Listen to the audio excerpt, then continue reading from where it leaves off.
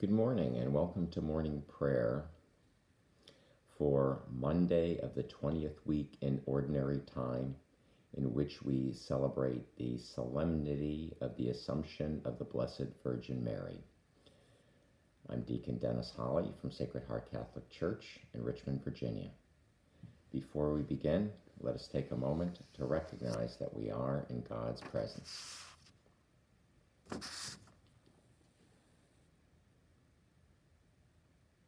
Let us begin as we begin all our prayers in the name of the Father, and of the Son, and of the Holy Spirit. Amen. God, come to my assistance. Lord, make haste to help me. Glory to the Father, and to the Son, and to the Holy Spirit, as it was in the beginning, is now, and will be forever. Amen. Blessed are you, O Mary, for the world's salvation came forth through you. Now in glory you rejoice forever with the Lord. Our first psalm is Psalm 63, entitled A Soul Thirsting for God. O God, you are my God, for you I long, for you my body, my soul is thirsting. My body pines for you, like a dry, weary land without water. So I gaze on you in the sanctuary, to see your strength and your glory. For your love is better than life. My lips will speak your praise, so I will bless you all my life. In your name I will lift up my hands. My soul shall be filled as with a banquet. My mouth shall praise you with joy. On my bed I remember you. On you I muse through the night. For you have been my help. In the shadow of your wings I rejoice. My soul clings to you. Your right hand holds me fast. Glory to the Father, and to the Son, and to the Holy Spirit, as it was in the beginning, is now, and will be forever. Amen. Father, creator of unfailing light, give that same light to those who call to you. May our lips praise you, our lives proclaim your goodness, our work give you honor, and our voices celebrate you forever. Blessed are you, O Mary, for the world's salvation came forth through you. Now in glory, you rejoice forever with the Lord. The Virgin Mary is exalted above the choirs of angels. Let all believers rejoice and bless the Lord. Our canticle this morning is taken from Daniel entitled, Let All Creatures Praise the Lord. Bless the Lord, all you works of the Lord. Praise and exalt him above all forever. Angels of the Lord, bless the Lord. You heavens, bless the Lord. All you waters above the heavens, bless the Lord. All you hosts of the Lord, bless the Lord. Sun and moon, bless the Lord. Stars of heaven, bless the Lord. Every shower and dew, bless the Lord. All you winds, bless the Lord. Fire and heat, bless the Lord. Cold and chill, bless the Lord. Dew and rain, bless the Lord. Frost and chill, bless the Lord. Ice and snow, bless the Lord. Nights and days, bless the Lord. Light and darkness, bless the Lord. Lightnings and clouds, bless the Lord. Let the earth bless the Lord. Praise and exalt him above all forever. Mountains and hills, bless the Lord. Everything growing from the earth, bless the Lord. You springs, bless the Lord. Seas and rivers, bless the Lord. You dolphins and all water creatures, bless the Lord. All you birds of the air, bless the Lord. All you beasts, wild and tame, bless the Lord. You sons of men, bless the Lord. O Israel, bless the Lord. Praise and exalt him above all forever. Priests of the Lord, bless the Lord. Servants of the Lord, bless the Lord. Spirits and souls of the just, bless the Lord. Holy men of humble heart, bless the Lord. Hananiah, Azariah, Mishael, bless the Lord. Praise and exalt him above all forever. Let us bless the Father and the Son and the Holy Spirit. Let us praise and exalt him above all forever. Blessed are you, Lord, in the firmament of heaven, praiseworthy and glorious, and exalted above all forever. The Virgin Mary is exalted above the choirs of angels. Let all believers rejoice and bless the Lord. The Lord has made you so glorious that your praise will ev- never cease to resound among men. Our second psalm is Psalm 149, entitled The Joy of God's Holy People. Sing a new song to the Lord, his praise in the assembly of the faithful. Let Israel rejoice in its Maker. Let Zion's son exult in their King. Let them praise his name with dancing and make music with timbrel and harp. For the Lord takes delight in his people. He crowns the poor with salvation. Let the faithful rejoice in their glory, shout for joy, and take their rest. Let the praise of God be on their lips and a two edged sword in their hand, to deal out vengeance to the nations and punishment on all the peoples, to bind their kings in chains and their nobles in fetters of iron, to carry out the sentence preordained. This honor is for all his faithful. Glory to the Father, and to the Son, and to the Holy Spirit, as it was in the beginning, is now, and will be forever. Amen. Let Israel rejoice in you, Lord, and acknowledge you as Creator and Redeemer. We put our trust in your faithfulness and proclaim the wonderful truths of salvation. May your loving kindness embrace us now and forever. the Lord has made you so glorious that your praise will never cease to resound among men. Our reading this morning is taken from the prophet Isaiah. I rejoice heartily in the Lord. In my God is the joy of my soul. For he has clothed me with a robe of salvation and wrapped me in a mantle of justice, like a bride bedecked with her jewels.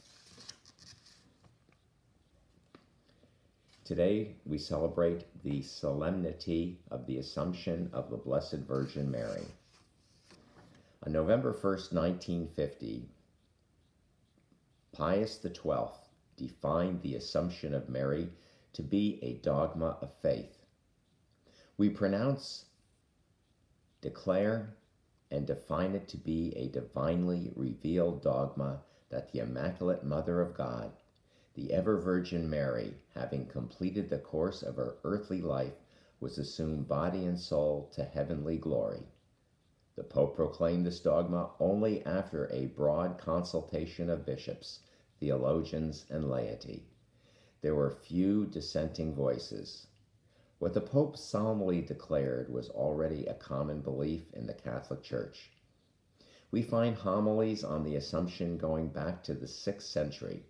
In the following centuries, the Eastern churches held steadily to the doctrine, but some authors in the West were hesitant. However, by the 13th century, there was universal agreement the feast was celebrated under various names commemoration, dormition, passing, assumption, from at least the 5th or 6th century. Today it is celebrated as a solemnity. Scripture does not give an account of Mary's assumption into heaven. Nevertheless, Revelation chapter 12 speaks of a woman who is caught up in the battle between good and evil. Many see this woman as God's people, since Mary best embodies the people of both the Old and New Testament, her assumption can be seen as an exemplification of the woman's victory. Furthermore, in 1 Corinthians chapter 15, verse 20, Paul speaks of Christ's resurrection as the first fruits of those who have fallen asleep. Since Mary is closely associated with all the mysteries of Jesus' life, it is not surprising that the Holy Spirit has led the Church to belief in Mary's share in his glorification. So close was she to Jesus on earth, she must be with him body and soul in heaven. Our responsory Today the Virgin Mary was taken up to heaven. Today the Virgin Mary was taken up to heaven. For all eternity she shares the victory of Christ the Virgin Mary was taken up to heaven. Glory to the excuse me. Glory to the Father and to the Son and to the Holy Spirit. The Virgin Mary was taken up to heaven. Our Canticle of Zechariah. This daughter of Jerusalem is lovely and beautiful as she ascends to heaven like the rising sun at daybreak. Blessed be the Lord, the God of Israel he has come to his people and set them free. He has raised up for us a mighty Savior born in the house of his servant David. Through his holy prophets, he promised of old that he would save us from our enemies, from the hands of all who hate us. He promised to show mercy to our fathers and to remember his holy covenant.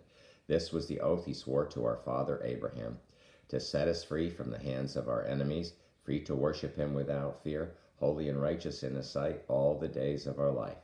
You, my child, shall be called the prophet of the Most High, For you'll go before the Lord, to prepare his way, to give his people knowledge of salvation by the forgiveness of their sins. In the tender compassion of our God, the dawn from on high shall break upon us, to shine on those who dwell in darkness and the shadow of death, and to guide our feet into the way of peace. Glory to the Father, and to the Son, and to the Holy Spirit, as it was in the beginning, is now, and will be forever. Amen. This daughter of Jerusalem is lovely and beautiful as she ascends to heaven like the rising sun at daybreak. Our intercessions. Let us glorify our Savior who chose the Virgin Mary for his mother. Let us ask him, May your mother intercede for us, Lord. Eternal Word, you chose Mary as the uncorrupted ark of your dwelling place. Free us from the corruption of sin. May your mother intercede for us, Lord. You are our Redeemer, who made the Immaculate Virgin Mary your purest home and the sanctuary of the Holy Spirit. Make us temples of your Spirit forever. May your mother intercede for us, Lord. King of kings, you lifted up your mother body and soul into heaven. Help us to fix our thoughts on things above. May your mother intercede for us, Lord. Lord of heaven and earth, you crown Mary and set her at your right hand as queen. Make us worthy to share this glory. May your mother intercede for us, Lord.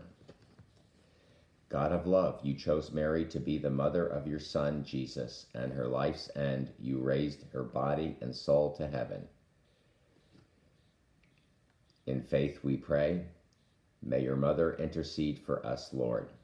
Fashion your church into leaven for transforming the world. Let us pray. May your mother intercede for us, Lord. Help us to safeguard life and protect the dignity of every person. May your mother, let us pray, may your mother intercede for us, Lord. Heal those who suffer affliction of mind, body, or spirit. Let us pray. May your mother intercede for us, Lord. For all those caught up in violence, remembering especially the people of Ukraine, that in this time of fear and conflict they may know God's presence and peace, we pray. May your mother intercede for us, Lord. For a swift end to the COVID 19 pandemic that afflicts our world, that our God and Father will heal the sick, strengthen those who care for them, and help us to persevere in faith we pay. May your mother intercede for us, Lord. For Sacred Heart Catholic Church, for our priests, deacons, parish ministers, parish staff. For Sacred Heart Center, for all those who donate their time, talent, and treasure to our parish or to the center. But especially for all of our parishioners and those of our parishioners who may either be sick or who have died. We pray, may your mother intercede for us, Lord. Let us now say the prayer that Jesus taught us to pray to his Father. Our Father, who art in heaven, hallowed be thy name. Thy kingdom come, thy will be done, on earth as it is in heaven. Give us this day our daily bread, and forgive us, us our trespasses, as we forgive those who trespass against us. And lead us not into temptation, but deliver us from evil. Amen. All powerful and ever living God, you raised the sinless Virgin Mary, mother of your Son, body and soul to the glory of heaven. May we see heaven as our final goal and come to share her glory. We ask this through our Lord Jesus Christ, your Son, who lives and reigns with you and the Holy Spirit, one God, forever and ever. Amen. May God lead us to rejoice always in the loving care of Mary, the bearer of the eternal word. Amen. May the Lord bless us, protect us from all evil and bring us to everlasting life. Amen. Have a blessed week. Please continue to take care of yourself and each other, and may God be praised.